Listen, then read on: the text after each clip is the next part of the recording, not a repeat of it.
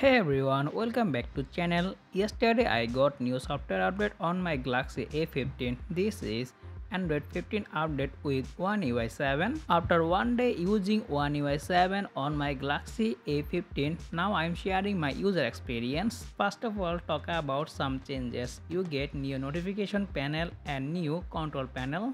One UI 7 also introducing some new icon like phone, gallery, camera setting and stopwatch you also get these types of new animation which look very nice and attractive. You also get unlock animation. After one day I am using this smartphone and I don't face any lag or frame drop. Now you also get new bar.